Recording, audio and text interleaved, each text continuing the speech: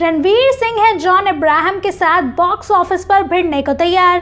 स्वागत है आप सभी का बॉलीवुड स्पाई में और मैं हूँ आपके साथ रोशनी।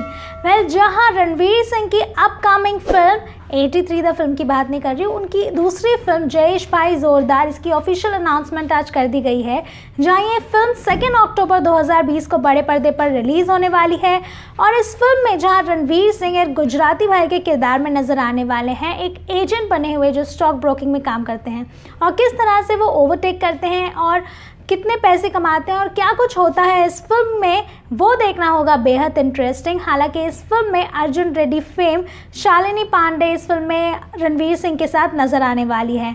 और इस फ़िल्म का सबसे बड़ा क्लैश होने वाला है जॉन इब्राहिम की फ़िल्म सत्यमेव जयते टू के साथ, जहाँ पिछले दिनों मेकर्स ने ये कंफर्म किया था कि ये फ़िल्म सेकेंड अक्टूबर को बड़े पर्दे पर रिलीज़ होने वाली है। जॉन इब्राहिम पहले भी इस तरह की फ़िल्म लेकर आ चुके हैं जो कि सत्यमेव जयते रही। वेल ये फ़िल्म ने बॉक्स ऑफ़िस पर जहाँ अच्छा बिज़नेस तो किया ही और जो स्टोरी लाइन थी वो भी काफ़ी ज़्यादा अप्रिशिएट की गई। वेल इसी के चलते जॉन इब्राहिम अब दूसरी पार्ट भी लेकर आ गए हैं। और बॉक्स ऑफ़िस पर क्या कुछ होगा अंजाम? क्योंकि रणवीर सिंह एक बहुत ही अलग कॉन्सेप्ट लेकर आ रहे हैं।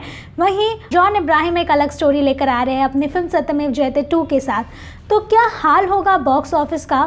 कितना इम्पैक्ट कर पाएगी ये दोनों फ़िल्म एक दूसरे को? ये सारा कुछ ये तो वक्त ही बताएगा। फ़िलहाल के लिए आप हमें कमेंट सेक्शन में ज़रूर बताइए कि दोनों ही फ़िल्मों को लेकर एक साथ क्लैश होने पर आप है कितने ज़्यादा एक्साइटेड आपकी क्या कुछ है उम्मीदें? बॉक्स ऑफ़िस पर क्या होगा असर? हमें कमेंट्स के ज़रिए ज़रूर बताइए और हमारे चैनल बॉलीवुड स्पाई के साथ बने रहिए।